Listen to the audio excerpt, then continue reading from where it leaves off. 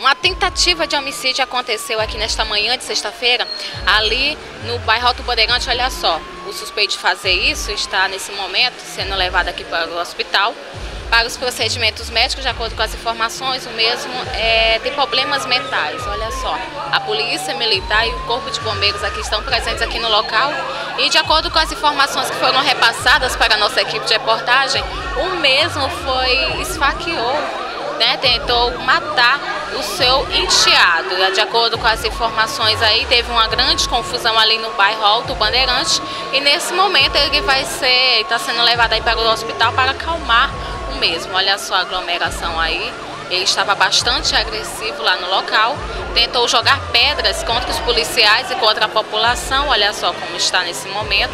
Ali, é, a esposa, a companheira dele, olha só como está tentando acalmar o mesmo aí, ele que estava com a faca tentando agredir, desferir golpes de faca ali na população e acabou ferindo o seu enteado.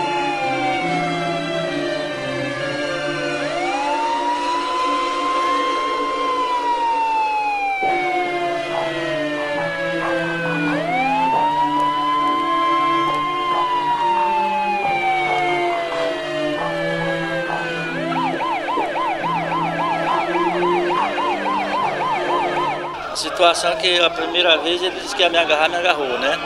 Parando a moto, derrubou da moto e me enxuxou também aqui na, na cabeça. Ele mora na mesma residência que o senhor? Mora de lado lá. É filho dela aí.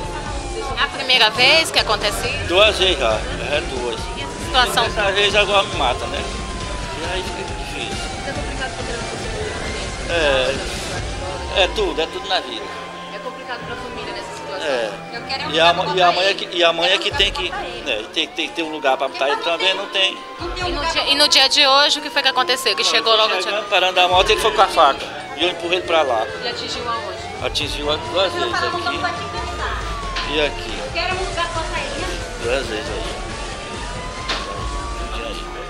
Foi só isso mesmo. Se eu não tivesse empurrado, ele tinha me matado. Tinha. Agora fica a situação complicada, né? Que é o fi filho da sua companheira. Pois é.